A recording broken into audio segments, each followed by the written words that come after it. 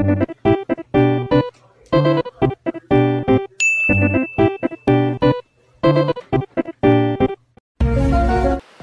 di video kali ini cara kita untuk mengecek RAM HP di HP Vivo. Nah, seperti ini ya teman-teman ya. Caranya bisa kalian buka saja langsung ke pengaturan ini ya, pengaturan di sini.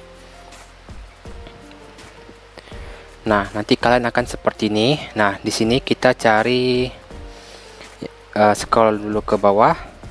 Nah, di sini kita cari RAM ruang penyimpanan, kemudian kita tekan seperti ini.